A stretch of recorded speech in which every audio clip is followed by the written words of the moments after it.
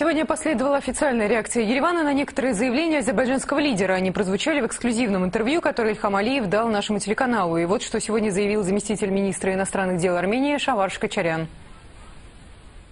Заявления руководства Азербайджана, в том числе последние заявления, они направлены на срыв переговорного процесса, на полную фальсификацию и извращение сути самой Нагорно-Карабахской проблемы, и это попытки избежать ответственности за развязанную руководством Азербайджана агрессию против Нагорно-Карабахской республики и этнические чистки населения Нагорного Карабаха. В этом плане я вынужден напомнить, что заявление руководства Азербайджана о приверженности мирному процессу не соответствует действительности. Исходно Азербайджан, начав агрессию, вынужден был сам просить начать переговоры о заключении перемирия, причем именно с Нагорно-Карабахской республикой. Я зачитаю один документ от 3 сентября 1993 года Баку, документ номер 171. Руководство Азербайджана уполномачивает заместителя председателя Верховного Совета от Джалилова вести переговоры об организации встречи руководителей Азербайджана и НКР Нагорно-Карабахской республики. Подпись. Значит, во-первых, осуществляющий полномочия президента Азербайджанской республики, председатель Верховного Совета Азербайджанской республики Гейдар Алиев. Вот документ с его подписью.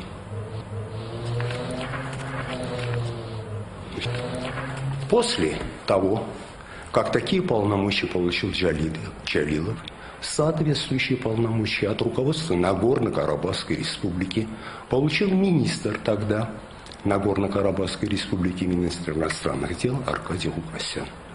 Состоялись переговоры между Джалиловым и Лукасяном. Было подписано коммюнике двустороннее.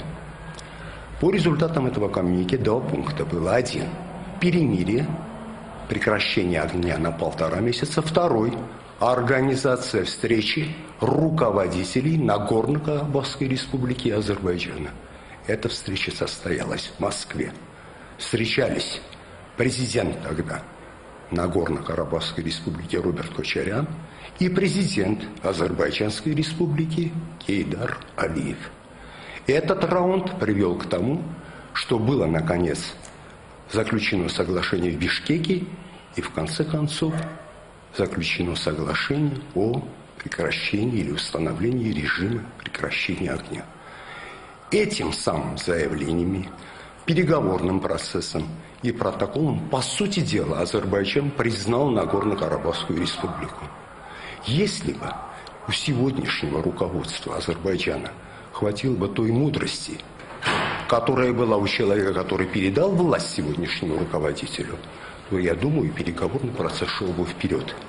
Надо вести переговоры с Нагорным Карабахом, с Нагорно-Карабахской республикой, а не делать вид, что такого субъекта не существует, и не повторять непрерывно, как заклинание, что никогда Нагорно-Карабахская республика не может быть вне состава Азербайджана. Нагорно-Карабахская республика отношения к независимому Азербайджану не имела, не имеет и не будет иметь.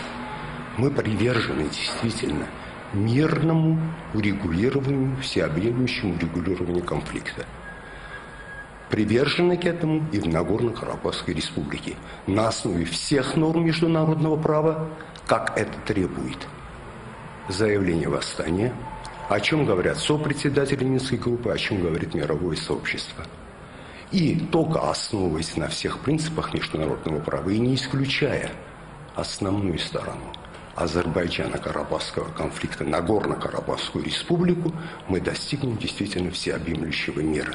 Любые попытки шантажа, милитаристских угроз – они не только заранее обречены на провал, но они были и продолжают оставаться главным тормозом для продвижения вперед процесса урегулирования.